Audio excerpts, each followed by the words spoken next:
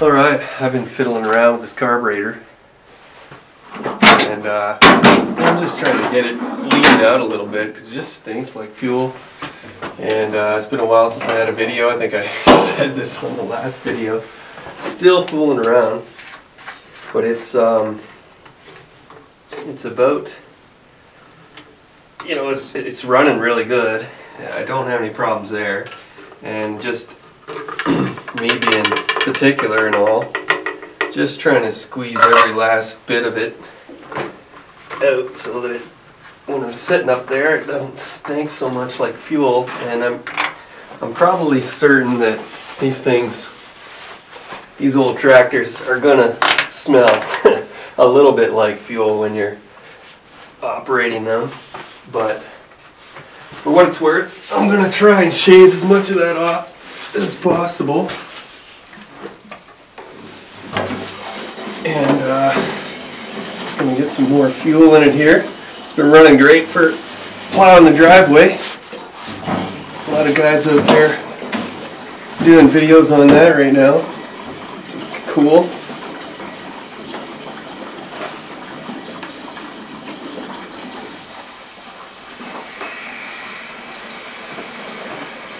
Yeah, so this is the 50. I think the last two videos were on the 65. But this is the 50. It's it's the high chassis model, so I use it for snow plowing because it's uh, nice and high and cuts through the drifts pretty easily. I got a back blade on it too. I noticed some guys use their back blade with the uh, the curl forward. I like to use it backwards. It does less damage to my driveway um, you know, I pitch it into the center so that it's high in the center and drains off the sides. And uh, but when I'm doing snow, I like to I like to use it backwards with the curl with the curl of the blade out the back because it just it drags nicer and doesn't dig doesn't dig as much but when you're grading the actual gravel that's when I don't mind using the curl the proper way. Alright, this be enough. I'm going to save some of that for the 65. Alright, I'm going to fire this thing up, take it and uh, let it warm up, and then back it outside so the lighting will be a little bit better.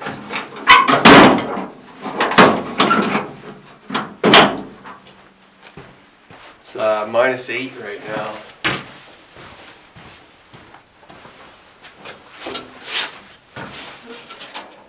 Let it warm up.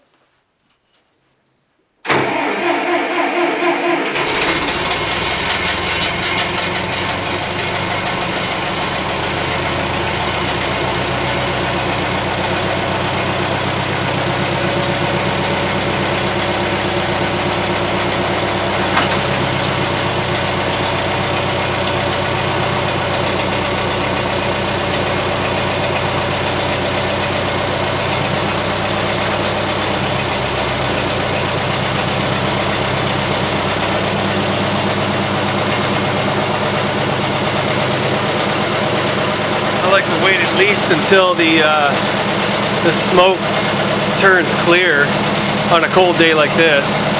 That tells me it's, you know, should be warmed up enough to move it at least anyway.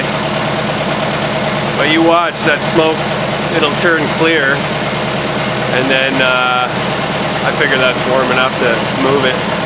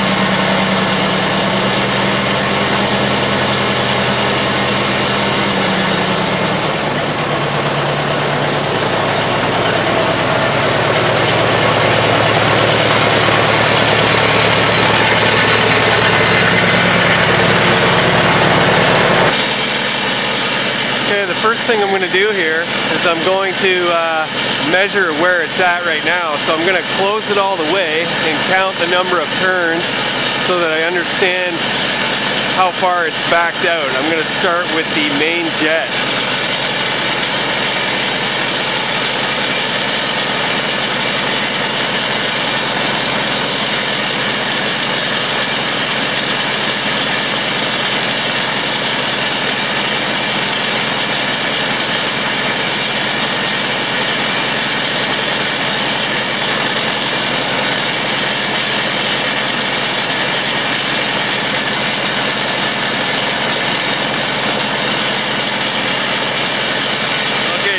Was open one full turn. And I'm going to leave it there because I like the way it's running. Now I'm going to check the, uh, the idle air speed.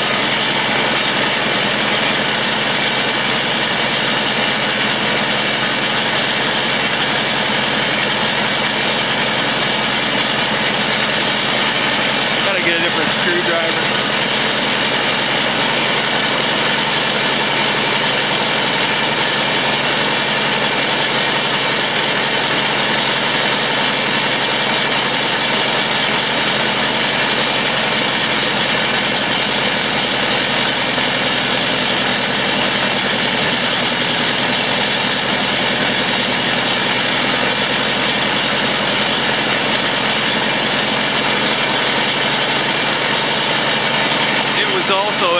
One full turn. So I'm just going to leave it and have a sniff and see what, see what we're getting.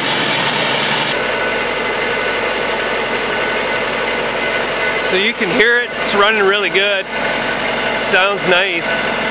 Um, doesn't smell too bad, but like I said, these old tractors are bound to smell like something. I mean, not going to get away with no fuel smell, but you know, I like the way it's running. I think it's doing a great job. I haven't had a minute's trouble with this tractor really, uh, other than, you know, points and condenser and, uh, you know, regular tune-up stuff.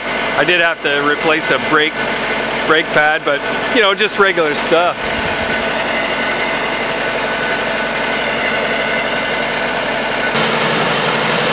Now, just to check the main jet setting, I'm going to grab the throttle and I'm gonna go from slow to high and see if it coughs and sputters.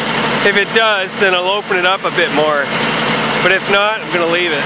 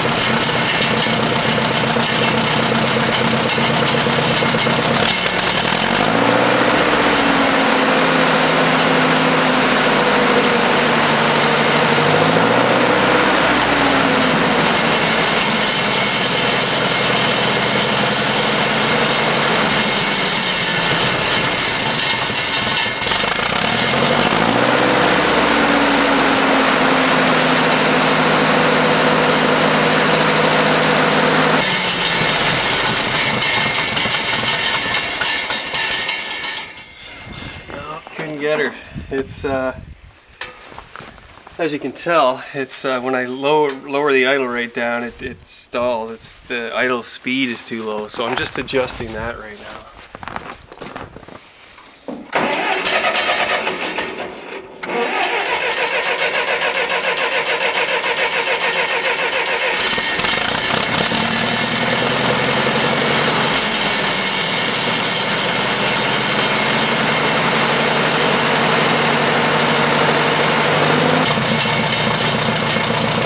Okay, I, uh, I had to adjust the idle speed, so I did that, and then I uh, had to back off the air idle screw another uh, quarter turn, and uh, sounds pretty good now. That's the low, the low idle there.